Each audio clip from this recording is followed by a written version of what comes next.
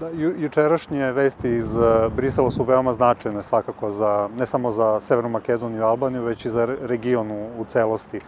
Um, krajnje vreme da Evropska unija uh, uzvrati kredibilitetom i verodostojnom politikom prema Zapadnom Balkanu na uh, one poteze koje su vlade i Albanije i Severne Makedonije u poslednje vreme povukle. Ovaj izveštaj govori da su obe vlade zaista uložile dodatne napore da ispune neophodne e, uslove i kada je situacija takva da e, e, vlada Severne Makedonije ispunjava uslove koje se od nje traže, bilo bi zaista veoma čudno kada Evropska unija ne bi u prvoj polovini ove godine donela odluku o otvaranju pregovora sa, sa Severnom Makedonijom do kraja, do kraja ove godine. Svaka druga odluka bi zaista značila dalje urušavanje poverenja koju je e, načeto, da tako kažemo, u oktobru prošle godine, e, jer je u tom, e, u tom periodu bilo, zaista nije bilo, da kažem, fair i pravedno što nisu otvoreni pregovori i sa Severnom Makedonijom i sa Albanijom. Perspektiva Zapadnog Balkana se definitivno nalazi u članstvu u Evropskoj uniji i e, ova perspektiva e, će biti dodatno, nažalost, da kažem, urušena ukoliko se još jednom iznevere e, opravdana očekivanja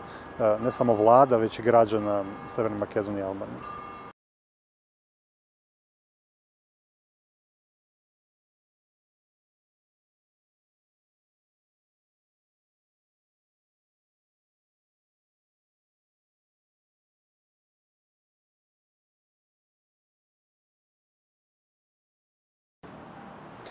Mislim da je pitanje pristupanja, odnosno vremenskog roka za pristupanje bilo koje države Zapadnog Balkana od sekundarnog e, značaja. Primarni značaj i ono što će u mnogome definisati e, put država Zapadnog Balkana ka Evropskoj uniji e, sa jedne strane je posvećenost reformama i promenama koje su usmerene ka boljem životu građana u regionu, da osete da institucije rade svoj posao, da se zakon sprovodi u skladu sa, sa principima vladavine prava, a s druge strane, faktor koji će uticati na dinamiku daljeg širenja Evropske unije jeste i, jesu i dešavanja unutar same unije, na koji način će Evropska unija odgovoriti na izazove sa kojima se suočava u ovom trenutku i na koji način će projektovati svoju stratešku, stratešku budućnost. Ja sam ubeđen da je mesto svih država Zapadnog Balkana u toj i takvoj strateškoj budućnosti unutar Evropske unije, a kada će se to konkretno e, desiti, opet zavisim, e, opet napominjem, zavisi od, od više faktora i e, niko ne može da vam da tačan datum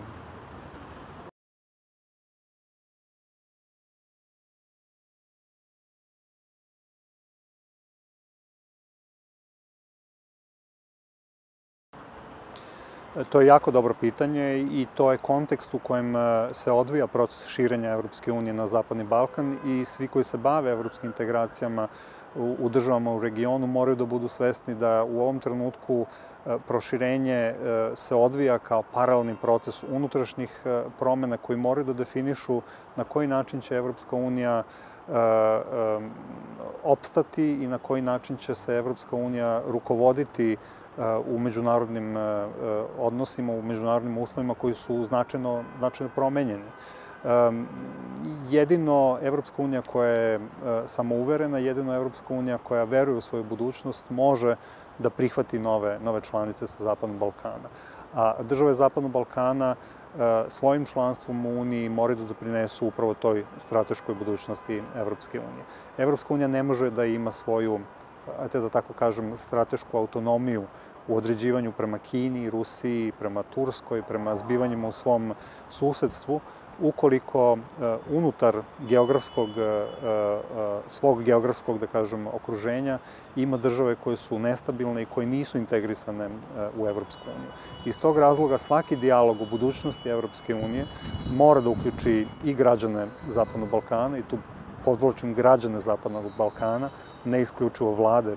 država Zapadnog Balkana, jer svi građani i Makedonije i e, Srbije, Crne Gore, Bosne i Hercegovine su građani, budući građani Evropske unije i oni moraju da budu uključeni u ono što je e, e, diskusija o budućnosti Evropske unije.